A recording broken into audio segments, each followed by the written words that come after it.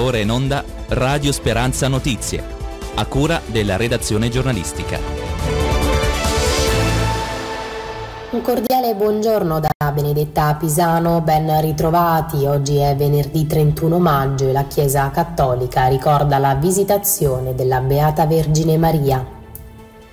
Ieri mattina il presidente della giunta regionale Marco Marsilio ha partecipato al taglio del nastro della ventottesima edizione di Cartoons on the Bay, il festival internazionale dell'animazione televisiva, cinematografica e cross mediale che questa mattina ha aperto i battenti all'Aurum di Pescara e proseguirà fino a domenica 2 giugno. Al fianco del presidente Marsilio c'era l'assessore al bilancio Mario Quaglieri, mentre come nelle precedenti edizioni a fare gli onori di casa casa è stato il direttore artistico di Cartoons on the Bay, Roberto Genovesi. Di prestigio anche la presenza del presidente di RAICOM, Claudia Mazzola. Ascoltiamo le parole del presidente Marsilio una bellissima iniziativa che permette all'Abruzzo di diventare punto di riferimento della cinematografia, di una parte importante della cinematografia che è quella di animazione, quella rivolta che non è rivolta soltanto ai bambini perché il cinema di animazione, il cinema fantasy, il cinema transmediale come lo chiamano ogni anno le definizioni cambiano perché è comunque un settore in grande e continua evoluzione molto dinamico è oggi la ossatura portante del fatturato dell'industria cinematografica. E certe tipologie di film come quelle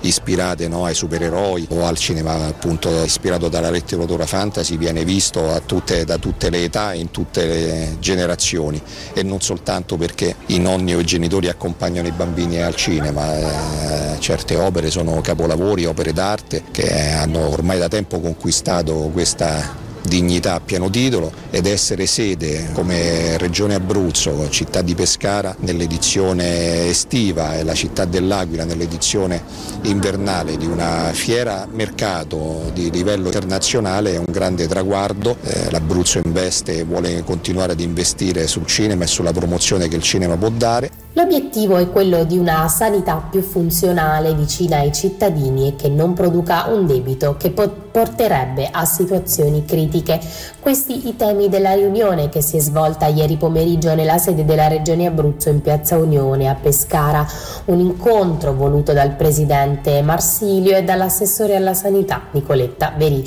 a cui hanno partecipato i vertici delle quattro ASL abruzzesi, direttori generali, amministrativi e sanitari il responsabile del Dipartimento Sanità Claudio Damario e il direttore dell'Agenzia Sanitaria Pierluigi Cosenza. L'impegno comune che è stato riaffermato è quello di individuare modelli virtuosi per rendere la sanità abruzzese moderna, efficace attraverso un piano di efficientamento capace di contenerne i costi nei limiti dei bilanci assegnati, garantendo nello stesso tempo la qualità del servizio e l'erogazione dei LEA. Un monitoraggio costante con appositi strumenti di controllo garantirebbe il miglioramento dei servizi a cominciare dalle liste di attesa. Obiettivo dell'amministrazione Marsilio è quello di ridurre i tempi di attesa delle diverse prestazioni attraverso un cruscotto che in tempo reale offra il quadro della situazione. Per migliorare i servizi è stata avanzata la proposta di aumentare le prestazioni interne alla ASL lavorando dal lunedì al sabato dalle ore 8 alle 22, un aumento degli slot con particolare riguardo alla diagnostica, una maggiore trasparenza garantirebbe interventi di correzione in tempo reale fino ad ipotizzare il blocco delle prestazioni intramenia quando le liste di attesa vengono bloccate. Tra gli obiettivi da mettere in cassaforte c'è quello di contrastare la mobilità passiva, soprattutto quella di prossimità, garantendo la presenza di medici qualificati capaci di attrarre pazienti non solo all'interno della nostra regione ma anche da fuori e a tal proposito è stato anche affrontato il tema degli accordi di confine con diverse regioni ormai prossimi alla conclusione. Si intitola La cura multidisciplinare per i pazienti con malattia di Parkinson nel secondo congresso nazionale del Mirk Park Project che avrà luogo sabato 1 giugno a partire dalle ore 9 presso la sala conveni del centro Adriatico sul lungomare Giovanni XXIII 55 a Pescara. Infatti la Fondazione Paolo VI è uno dei dieci centri di riabilitazione che in Italia sono affiliati a questo innovativo approccio riabilitativo multidisciplinare rivolto ai pazienti affetti dalla malattia del Parkinson e parkinsonismi chiamato appunto MIRT, ideato e presieduto dal dottor Giuseppe Frazitta, neurologo e neuroriabilitatore. Con questo appuntamento creeremo una vetrina, spiega l'esperto. Per i pazienti infatti la speranza è che sul territorio nazionale esistono dei centri multidisciplinari che permettono di affrontare questa tipologia nella maniera corretta. La malattia del Parkinson non è una patologia che si può affrontare solo con i farmaci o solo con la riabilitazione, soltanto un gruppo di professionisti poss- possono combatterla insieme, rendendo questa malattia facilmente affrontabile. Sarà proprio il dottor Frazitta, dopo i saluti delle autorità, tra cui spiccano il presidente della Fondazione Paolo VI, l'avvocato Peppino Polidori e la direttrice generale, la dottoressa Elisa Di Tiglio e l'arcivescovo di Pescara Penne, Monsignor Tommaso Valentinetti, a tenere la relazione introduttiva dal tema l'approccio multidisciplinare della malattia del Parkinson perché in seguito sarà la dottoressa Carla Iarlori, neurologa e neuroriabilitatrice della Fondazione Paolo VI di Pescara, nonché del MIRT Park Project, centro MIRT di Pescara, a tenere la relazione sul tema un anno di attività MIRT nella Fondazione Paolo VI. Quindi interverranno la fisioterapista Savina Di Michele sul tema i benefici dell'intervento riabilitativo sul controllo del tronco e le logopediste Francesca Nasuti e Sabina Corbo, che parleranno delle strategie di intervento sulla comunicazione e deglutizione all'interno del progetto MIRT. Nella seconda parte della mattinata si susseguiranno poi le relazioni dei centri MIRT di Livorno, Brescia, Valmorea, Torino, Traona, Mestre Venezia e PV Care Stradella, mentre dalle 14.30 alle 17.30 ci sarà l'incontro dei centri MIRT. Partono ufficialmente sabato 6 luglio 2024 i saldi di fine stagione estiva. Il via libera è arrivato ieri mattina al termine della riunione di consultazione che i tecnici della Regione Abruzzo hanno avuto con le associazioni di categoria regionali. L'indicazione del 6 luglio è in linea con quanto stabilito a livello nazionale dalla Commissione Commercio della Conferenza nazionale. È il caso di ricordare che il commerciante che intenda promuovere i saldi nel proprio esercizio deve darne comunicazione allo sportello unico delle attività produttive, il SUAP, del comune nel quale ha sede l'esercizio commerciale. L'assessore alle attività produttive della regione Abruzzo, Tiziana Magnacca, ha concordato di convocare un ulteriore tavolo di confronto al fine di verificare la data dei saldi invernali rispetto a quanto indicato a livello nazionale.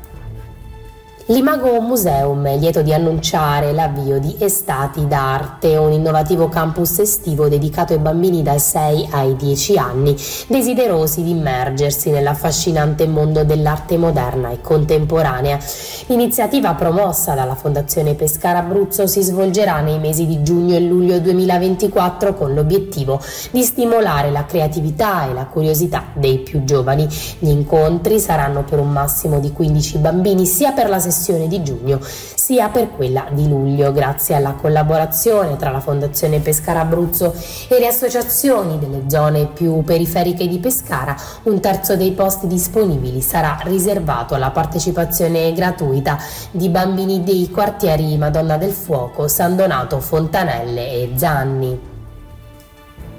Poste Italiane comunica che in provincia di Pescara le pensioni del mese saranno regolarmente accreditate sabato 1 giugno, primo giorno lavorativo bancabile, sia per coloro che hanno scelto l'accredito del rateo pensionistico sul conto corrente Banco Posta, sia per coloro che ritirano l'assegno in contanti presso Poste Italiane. In tutta la provincia sono 70 gli uffici postali aperti anche nella giornata di sabato durante l'intera mattinata mattinata. Sempre a partire da sabato 1 giugno le pensioni del mese saranno disponibili anche per i titolari di un libretto di risparmio o di una Postepay Evolution che abbiano scelto l'accredito. I possessori di carta di debito associate a conti o libretti o di Postepay Evolution quindi potranno prelevare in contanti dai 60 ATM Postamat del territorio senza doversi quindi recare allo sportello. Inoltre i possessori di carta di debito associate a conti o libretti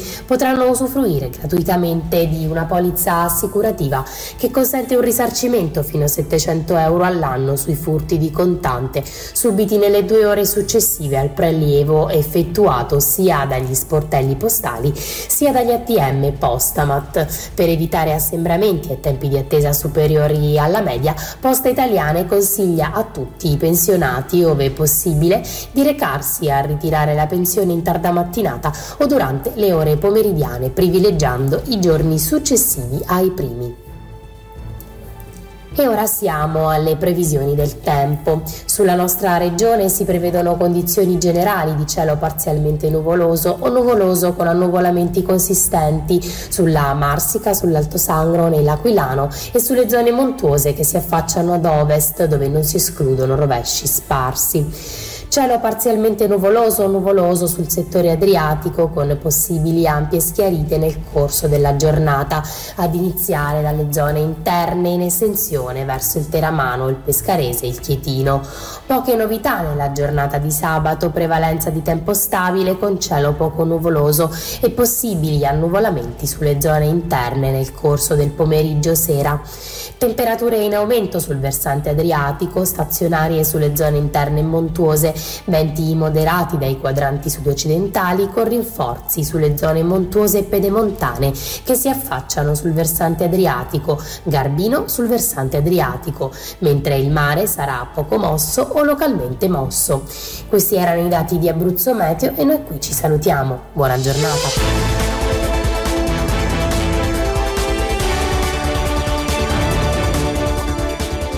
Abbiamo trasmesso Radio Speranza Notizie, a cura della redazione giornalistica.